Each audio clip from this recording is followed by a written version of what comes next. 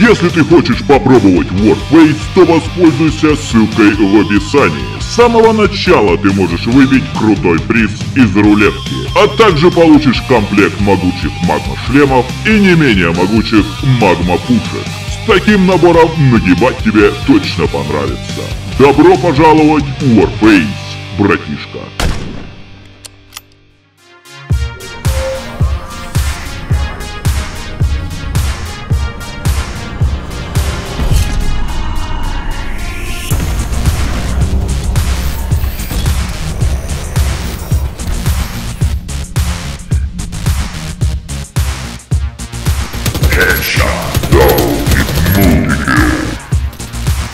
Мозголов вышибатель.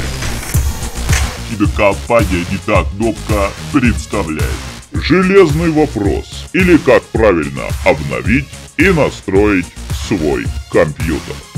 Ух ты, Ракутагин, на важную тему ты, кстати, замахнулся. Я тебе даже больше скажу, капитан Очевидность. Тема сегодня не просто важная, а глубокая и надежная. Приветствую вас, леди и джентльмены, другие подруги. С вами Мортит, а также капитан Очевидность, наш красавчик. Говорить сегодня будем о компьютерах игровых компьютерах. Тему мне предложили наши админы. Сказали, Ракутаген, а не хочешь ли ты провести урок компьютерной грамотности? Как правильно апгрейдить компьютеры, что важно, что не важно. Ну, я решил, почему бы и нет. И тут они предоставили мне самое интересное. Статистику компьютеров наших игроков. Когда я на это взглянул, то немного был в шоке. Дело в том, что 29% игроков имеют менее 4 гигабайтов оперативной памяти. А это почти треть игроков. Еще 35% игроков имеют запас оперативной памяти от 5 до 8 гигабайт. Итого 54% игроков имеют менее или максимум 8 гигабайт оперативной памяти. Должен заметить, друзья, это весьма мало. Ну, все в соответствии с системными требованиями. О боже, я тебя умоляю, капитан очевидность. Системные требования. Друзья, да, у нас э, в Warface присутствуют официальные системные требования. Это, кстати, такой вот у-у-у, камешек полетел в огород наших разработчиков. Я не знаю насчет минимальных системных требований. Может быть, они как бы актуальны. Но, чтобы вы понимали, минимальные системные требования в любой игре всегда, это они означают, что игра у вас запустится, в принципе. Ну, она запустится, это не значит, что вы вообще сможете нормально играть в нее. Но это минимальные э, требования системные, это практикуется вообще везде. Практически все игры, если написаны минимальные системные требования, и у вас такой компьютер, это значит, что вот игра у вас запустится, и лучше дальше меню никуда вообще никогда не ходить. А вот что касается рекомендованных системных требований, опять же, тут 4 гига указаны там и так далее и тому подобное. Надо понимать, друзья, что эти минимальные требования, они формировались они были установлены в 2013-2014 году. А тем временем, сейчас на дворе 2020. Мало того, что операционные системы уже поменялись, уже совершенно другие в ходу, и, соответственно, они более прожорливые. Так и сам Warface 2013 и Warface 2020 года это совершенно разные игры. Совершенно разная графика, совершенно другой интерфейс, совершенно даже новые настройки в графике появились. Переделаны карты, переделаны модели оружия. То есть это совершенно другая игра, конечно же, фактически совершенно другими системными требованиями. И поэтому для современного Warface, друзья, минимум 8 гигабайт для более-менее комфортной игры.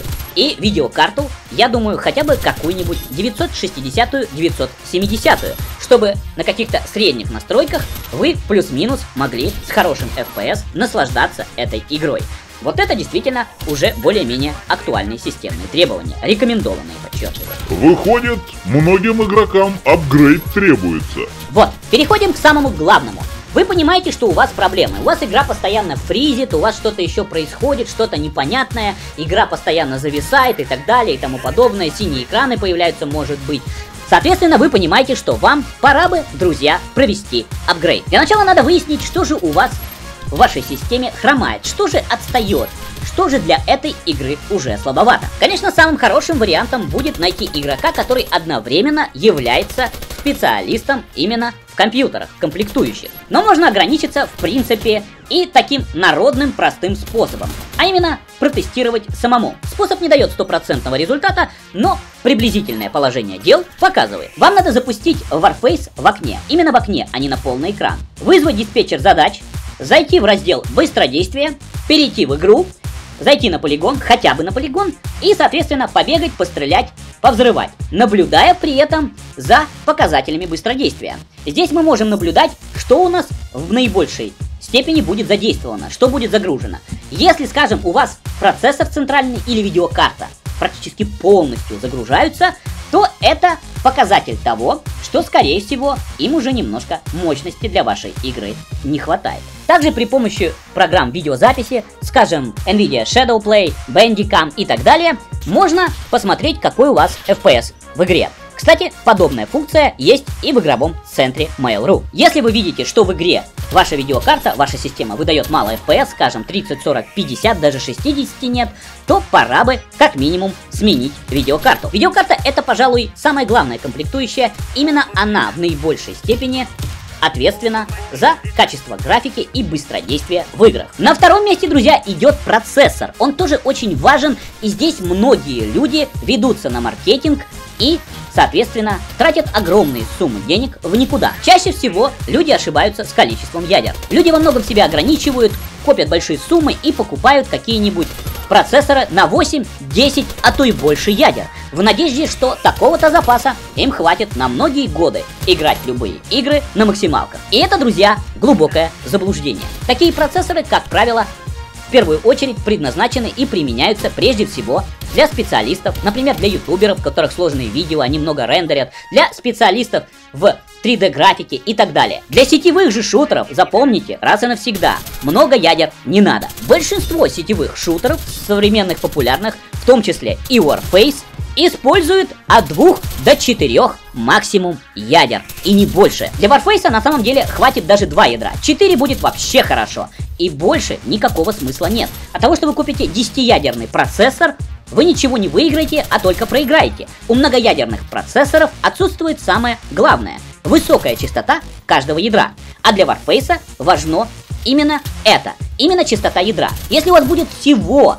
два ядра в процессоре, но каким-то чудом они будут выдавать каждое по 5, скажем, гигагерц, то у вас будет намного выше FPS, и игра будет идти намного лучше, чем у человека, у которого 10 ядер в процессоре, но все они по 3 ГГц. Так что вот так вот, друзья, это надо обязательно учитывать. Это поможет вам, с одной стороны, добиться отличной игры, а с другой стороны, вы сэкономите, причем очень прилично, свои деньги. Про оперативную память, я думаю, понятно. 8 минимум. Самая комфортная для современных игр сетевых это 16. Это такой, знаете, современный золотой стандарт.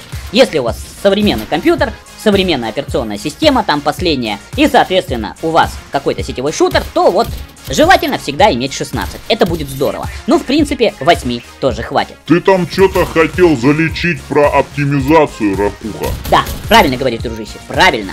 Итак, оптимизация и обслуживание компьютера. Первое, что вам надо знать, помимо того, что вы можете свой компьютер апгрейдить, и почти наверняка, в любом случае, все будут со временем свои компьютеры улучшать, а может быть полностью новые покупать, надо еще его правильно для игр настроить, а также проводить профилактику. Самое элементарное, но, кстати, очень часто дающая приличный прирост производительности, настройка. Находим у себя панель задач, можно просто в поисковой строке набрать панель задач, Заходим, соответственно, в раздел «Система». Там выбираем другие параметры системы, быстродействие. И, что самое главное здесь, убираем большинство ненужных галочек. Сразу скажу, что самое важное здесь, по сути, для большинства, это сглаживание неровностей экранных шрифтов. Все, все остальное, в принципе, можно убирать. Вроде бы такая мелочь, а на самом деле ваша операционная система начинает работать намного шустрее, жрет намного меньше ресурсов и при этом, соответственно, больше ресурсов, больше мощности уходит на вашу игру. Ну и, конечно же, друзья, пару слов об обслуживании компьютера. Во-первых, поделите год на условных два сезона, теплый и холодный. И, соответственно, два раза в год проводите полную чистку компьютера, а также меняйте термопасту. Один раз весной это сделали и один раз осенью, на всю зиму. Это очень важно, потому как компьютер, забитый пылью, а также табачными смолами, или осадками от вейпа хорошо работать не будет. Более того, со временем ваши комплектующие внутри могут просто-напросто от этого выйти из строя. Ну а что касается замены термопасты на процессоре, это вообще дело не только желательное, а вообще обязательное. Если не менять термопасту, а я думаю для многих это оказалось сюрпризом, есть такие люди, мне не раз встречались, у них компьютеры уже лет 5, они никогда не меняли термопасту. И при этом удивляются, а почему это мой компьютер постоянно выключается? Все очень просто, температура процессора становится такая, что система экстренно просто сама себя выключает. Поэтому, друзья, два раза в год в обязательном порядке полностью все прочищаем и смазываем. А за пинг что скажешь, Ракуха? О, хорошо ты напомнил, а то Кэп я чуть не забыл.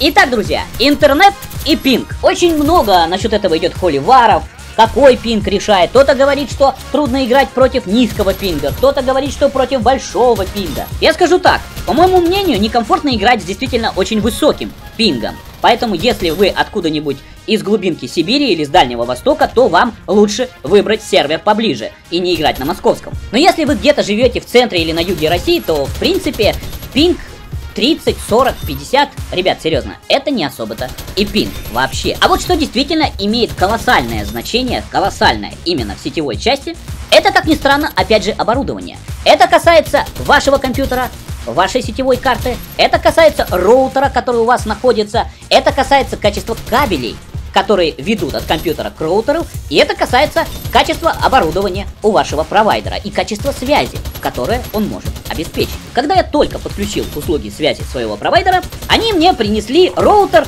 вот примерно такого размера. Там такая маленькая коробочка была, практически невесомая. Вы знаете, я так посмотрел на этот роутер и подумал, а, а это вообще работать может? Но мастер меня заверил, что все будет работать отлично. Проблемы начались уже в этот же день. Wi-Fi этот роутер раздавал, наверное, нормально на дистанции метров 10-15. Скорость на моем основном компьютере постоянно падала. Я позвонил провайдеру и сказал, что у меня вот такая ситуация. Они все внимательно протестировали и сказали, никаких проблем. Все отлично, все работает исправно. Я зашел на сайт, открыл список поддерживаемого оборудования, Заказал себе дорогой роутер, ну, понятно, уже в магазине интернет. Мне его привезли, я его поставил сам, сам настроил, и с тех пор все у меня работает сразу нормально. Это надо учитывать. То, что обычно поставляет большинство провайдеров, это вообще не оборудование. То есть, возможно, друзья, вы много лет мучаетесь в Warface, но на самом деле причина не потому, что у вас пинг 30, а потому, что у вас просто очень плохой роутер. Вот и все. Элементарно может быть вот такая мелочь, и она очень сильно скажется на всей вашей игре и вообще на всей вашей интернет-жизни. Также неплохо будет проверить свой пинг и потерю пакетов. Это элементарная проверка, она не точная, не глубокая, но тем не менее она уже может показать, выявить те или иные проблемы. Наберем в поиске CMD, это вызов командной строки, включаем ее, набираем пинг S1 или 0 или 2, www.warface.ru